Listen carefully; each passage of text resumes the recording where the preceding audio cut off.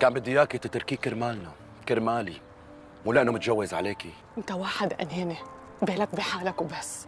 كل همك كرمال مين بدي أتركه؟ ما فكرت فيي إلي. ما فكرت أنا شو عم حس ما فكرت إني أنا عايش مع واحد كل يوم عم بتعذب معه. أنت كيف تقبل على حالك؟ تكون عارف إنه عم يضحك علي وتسكت. أناني.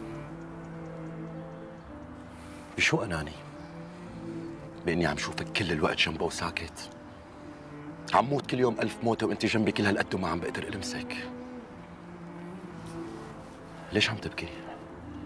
غيرانة عليه؟ مصدومة لأنه متجوز وحدة غيرك؟ عم ببكي على حالي. عم ببكي على حالي جد. أنا كنت عم حس بالذنب تجاه وهو عايش حياته مجوز. لو أنت خبرتني من قبل كنت اختصرت علينا كثير كنت بتعرفي كل الوقت إنه ما كان وافي معك وكان عم يخونك. كنت حاسة. بس ما كنت متأكدة وإني أنا وكل العالم تعرف هيدي فضيحة بالنسبة لإلي. فضيحة إله بيان. هيدي فضيحة لإلي ولابني ولعائلتي لمركزك. هذا اللي خايفة عليه. لك ما بعتني مركزك. حاجة تقول مركزك جاد. هيدي إهانة لإلي. هيدي إهانة لكل مرة. طيب. شو فينا نعمل حتى تبطلي حاسة بالإهانة؟ شو؟ إذا زتيت حالي هلا بين إيديك رح تفكر إنه عم رد له إياها وإذا قلت لك إنه غيمان ما بيستاهل إن أنا بعدتك عني كل هالوقت رح تصدقني؟ جاوبني رح تصدقني؟ رح تبطل تقلي مركزك وسمعتك؟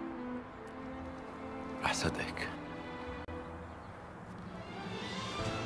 ورح ضمك لصدري لأني أناني واللي بيحب ما بيعرف غير يكون أناني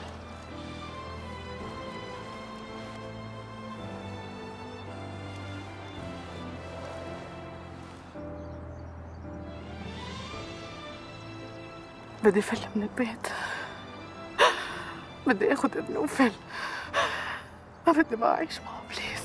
أنا معك ما تخافي من شيء معك ورح ضل معك.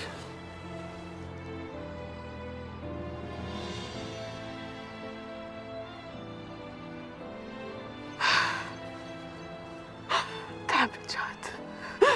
تعبت. بدي آخذ ابني وفل أنا وهو بدي أعيش معه. رح نفل رح نفل لا تخافي.